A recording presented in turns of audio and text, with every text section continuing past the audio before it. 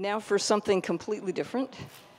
It's ironically somewhat the same topic, but I'm going to try and do a lot more Indians, a lot more audience involvement. I'm going to be talking about governance models or business models, which in the end are pretty much the same thing. And I'm going to try to tell you the story of ICANN in about three minutes. And then I'd like to do Q&A, because some of you know this or think you know it, or anyway. Uh, I was chairman of ICANN back in 1998 to 2000. This was the organization, Internet Corporation for Assigned Names and Numbers, that was supposed to basically be the regulatory infrastructure for the technical part of the internet, the, the actual IP addresses and the names. And the names, of course, they were sort of like a little asset. They were kind of like NFTs that pointed to a domain name and the related IP addresses, and you could put stuff there. And of course, that became an interesting market. Domain name like Coca-Cola.com was worth a lot, especially to Coca-Cola. So they hired a bunch of lawyers to protect it. And this had been going on until 1998. The US government and the EU together decided this, this really needs to be governed, and we don't want it to be governed by a government. We wanted to be governed by the broad internet community. And so they kind of encouraged the broad internet community to come together, and it didn't. the techies said, just leave us alone, it's working fine. The business people said, keep your hands off our internet. The non-US and EU people said, we don't want it run by you guys in uh, Eastern Europe and Western Europe and the US. So the whole thing was conceived in a kind of immaculate conception of lack of transparency. The patron saint of the internet, Jon Postel, who had run this system up to that point, had heart surgery in September of 98 and died, not mysteriously, of complications. So the, the DNA of this outfit was basically set by the lawyers at Jones Day who were implementing this whole thing they tried to pick a board of people who were not part of the factions, uh, which was always why I was picked. I knew something about technology, but I wasn't really a fighter on any particular side. Uh, the rest of the people knew even less than I did, with the exception of Vince Cerf and a guy called Jun Murai from Japan. So our first mistake was to hold closed board meetings. Our second mistake was for one of the board members, Hans von Kraaijenbrink, to say, this is so silly because if we have open board meetings, we'll just make all the decisions at dinner the night before. Which of course was totally true, but it wasn't really politic to say this in public. Uh, to make what is already a long story short, the thing turned into a protection racket. The people who showed up at the meetings to govern it, to set the prices, and ultimately to expand the number of top-level domain names were, naturally enough, registries, registrars, lawyers, copyright lawyers, and people who had a vested interest. They tried to create the at-large advisory council, which was supposed to represent the public, but hey, they weren't paid to show up. It wasn't in their financial interest to do so. It wasn't stuff they really cared about. So it ended up being run pretty much by a bunch of insiders. Uh, good news is the protection racket took a lot of money, but again, in the context of people's lives, it wasn't that important to most people. And second, they did not take people's voices, though governments certainly are able to do that because people physically live within their territories. And as I said earlier, Russia, China, lots of places are excellent examples of that. So the question is, how do we, how do we do this better? And why don't I start not answering questions? I'm not sure I have any answers, but at least responding to them from my experience with ICANN, with later on the proposed sale of .org, which was a nonprofit, which uh, to some people is again a, an ethical horror. Uh, can you easily or effectively mix profits and nonprofits.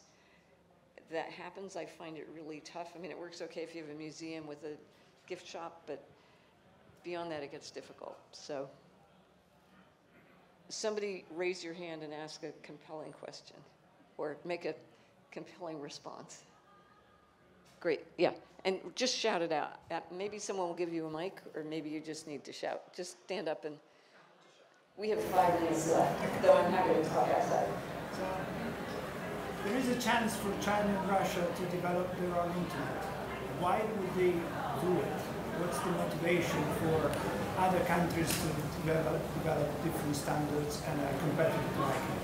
Um, their, their motivation is less to compete, but to wall themselves, both protect, protect their control within and protect themselves from inconvenient truths coming from without. It's, it's less a technical issue than, you know, we don't want people reaching our citizens, whether it's with, I remember, and this is why I don't think I let me into China, saying that Google was right to go into China to try and bring better information to the Chinese, and it was also right to leave when the Chinese would not let it do so.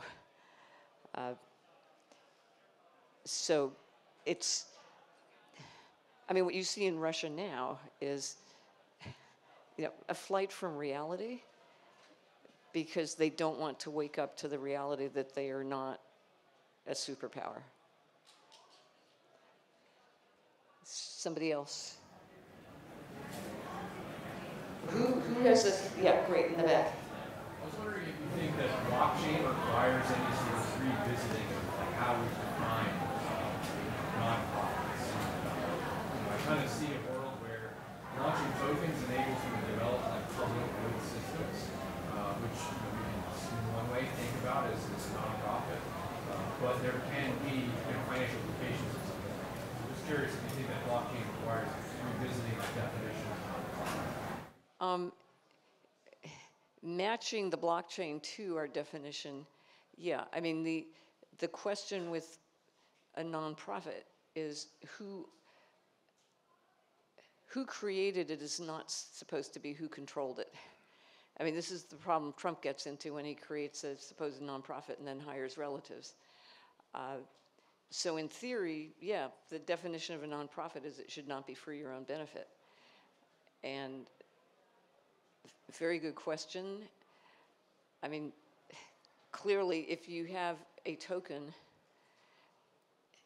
again, a token is not, this is where you get into securities law, you know, because a token is not, it's kind of semi-fungible because you can sell it back, so you've got a financial interest in it. In theory, you've got a voting interest. Uh, but you certainly haven't given it away for the benefit of somebody else, which is when you start getting the tax deductions and the, the freedoms. So to be honest, I'm not a lawyer. I don't know where that stands, but I would not call you know, a DAO ultimately profits the people with the tokens if that's how it's arranged. You can have different structures. I mean, like the DAO that was supposed to buy the Constitution and then donate it somewhere was something created for a specific nonprofit purpose where they were supposed to have no control over what happened. And then, of course, it didn't happen, and I don't know where it is now. But yeah, it, it raises really interesting questions that I think require further discussion. A nonprofit is supposed to benefit the beneficiaries who are not the owners, and the whole NFT DAO thing basically is about how you define control rather than ownership. And there's millions of ways to define control, some of which accord with the law in various jurisdictions and some of which don't. So yeah, if, if you want to be a success, it's not plastics, it's not code, it's law. The, um, somebody in the front row, yeah. Just really curious, to what extent do you think that people have, uh, you know, a sort of control of how Web3 will be developed in terms of like governance-wise? Because the way I see it now is more about like algorithms, predicting consumerism, and then like people are just following all these intelligent um, algorithms that are predicting them. So, just really curious, how do you see the people being able to like drift from all these data, you know, algorithms that are already able to? Yeah, I don't see people having control, and that's what bothers me. And I think the solution is less, certainly it's more transparency, but it's also people being more able to understand what is actually going on, which, you know, they usually don't. The, the way I'd best like to describe it is I want to give people the power to manipulate themselves rather than giving that over to people whose interest is in manipulating people so they can make money off them. You know, and that's where you get people selling addictive drugs and addictive games and addictive gambling services that sometimes call them investing services and so forth and so on. Uh, and I think there's somebody else coming up in two minutes, so I'm ready to cede my platform, but I'll answer that last question in the back when whoever is next comes up. And if so, what is the implications to the government to actually regulate platforms like that from other countries? So the question was about TikTok and what does that, and the U.S. government saying, stay out. Uh, it's, you know, like it or not, it's, it's kind of like China saying it doesn't want stuff from outside. Uh, I'm an American, I'm very suspicious of what TikTok is doing, and so I'd happen to agree with it. I'd, I'd be happier to see some clear explanation of the action they're taking and why. But it goes, I mean, it goes back to TikTok being addictive, uh, being toxic for kids.